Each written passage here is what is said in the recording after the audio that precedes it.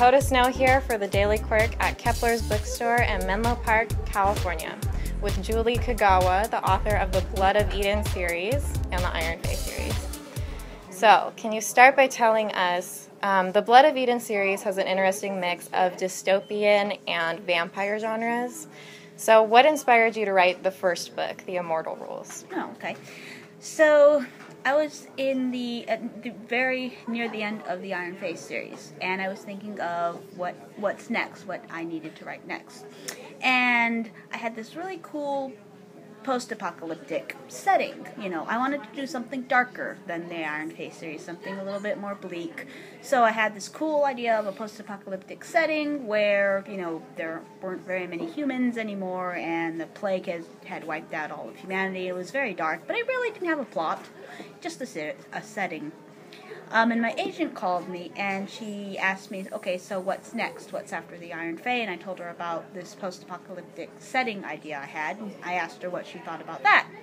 And she said, well, that's cool. What do you think about vampires? And it's funny because at the very beginning of my writing career, I had sworn I would not write a vampire book. Um, this was at the height of the Twilight. Uh-huh. Uh, yeah. the, the explosion. Yeah, the Twilight explosion.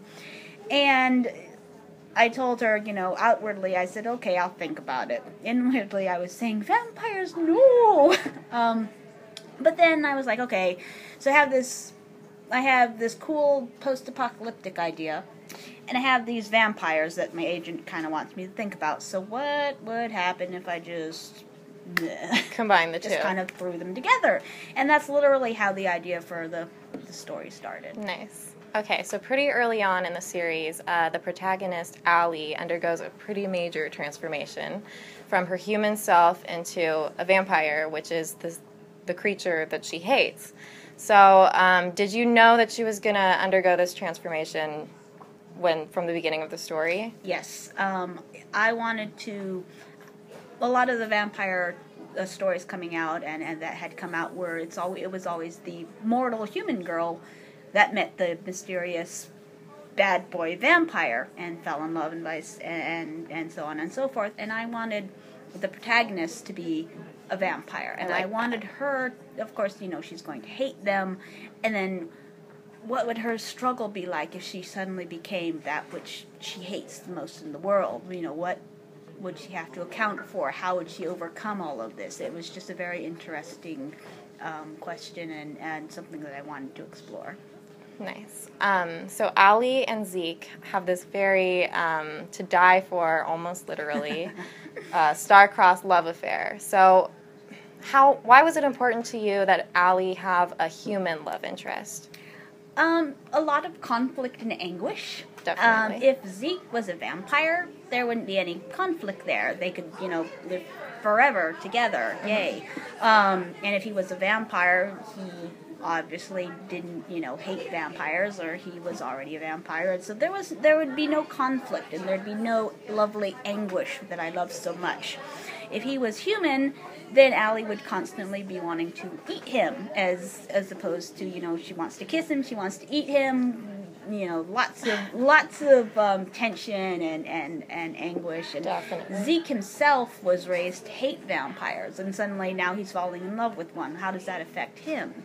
Um, so there was just a lot of, of uh, opportunity for you know lots of tension and, and confusion and, and, and anguish um, if Zeke was a human. Definitely. Um, so you create this very us and them kind of dynamic between the humans and their enemies, the vampires. But the tables turn in book two when the humans and vampires have to sort of work together to survive. Um, so was that part of your end game all along? Let's see, the Eternity Cure, um, I kind of had to introduce something new that was a threat to both humans and vampires. And yes, they did have to come together and work together to to uh, to find the cure for this new threat that was rising up. Um, I didn't really have an idea for it when I started out. Um, the idea was mostly to rescue Kanin, but as I got further into the book, um, it just kind of suddenly this new threat appeared, and suddenly the humans and the vampires have to work together, and you know what kind of conflict is that going to create? So that was kind of a happy surprise. Yeah, definitely. All right, so you end uh, The Eternity Cure on a cliffhanger. I won't give it away to anyone who hasn't read it, but um, can you tell us if readers will have their questions answered with Forever Song? Yes, definitely. Um, I will also warn that in the Forever Song, okay, so the the ending of the the Eternity Cure, if you cried at the end of the Eternity Cure, I really, really hope that you will shed even more tears So bring tissues. in the Forever song. So I cried when I was writing the Forever song. So I hope you will too. okay, so I know you can't tell us too much, but if you could describe Forever Song in five words or less, what would you do? Um, let's see. Gritty, heartbreaking, and probably gritty and heartbreaking. Okay. okay. All right, so you've written several series and you still have some installments in the works, but how do you spend your time when you're not busy doing all this writing? Oh, I have lots and lots of hobbies. Um, I I'm a martial artist. I like uh, kung fu. I, I take Wing Chun kung fu, and I also take Kali. And Kali is a weapons art. It's a Filipino weapons art um, that uses sticks and knives and swords. Um, and it's I really I love it. We uh, we have it, it's lovingly referred to as "hit people with sticks night." um, so we spar, and it, it's a lot of fun. Sounds dangerous. So yeah, I've come home with lots of bruises. so. but and I've given some bruises. And my husband is in that class, so Well, we, that's fun. we we punch and we hit each other. It's, it's a blast. So best form, A best- literally a blast. best, therapy ever. so Nice. um, I also create little. I like working with clay. And I create these little figurines um, that I sell on on, on Etsy store, just little cute little dragons and mythical creatures. Um, I'm also an avid gamer. I have an Xbox One a PS4, and you know I like to play video games. Any so, favorites? Um, Assassin's Creed, the Assassin's Creed. I like that one. Yes. All right, and um, okay, between Allie from uh, the Blood of Eden series and Meghan from the Iron Fey series, who are you more like in real life? Oh, definitely Allie. Allie and I, we're we're pretty. I was very much like her when I was young. Um, I was.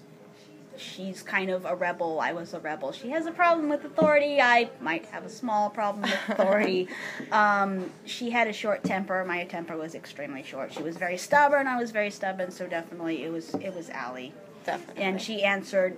You know, she dealt with conflicts with her fists. I kind of did that too when I was younger.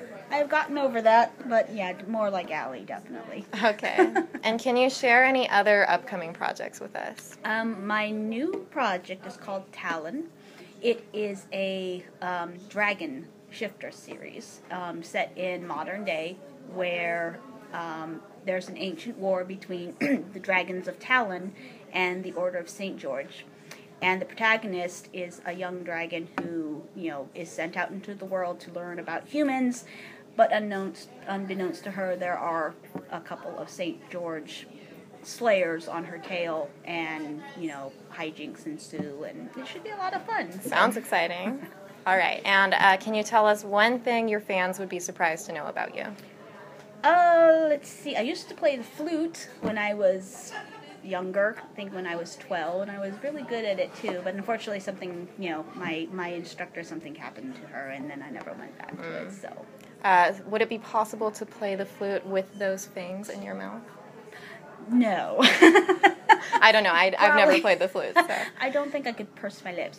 so vampires do not play the flute. Vampires do not play the flute. never thought of that. All right. Well, thank you so much. Thank you so much. Awesome.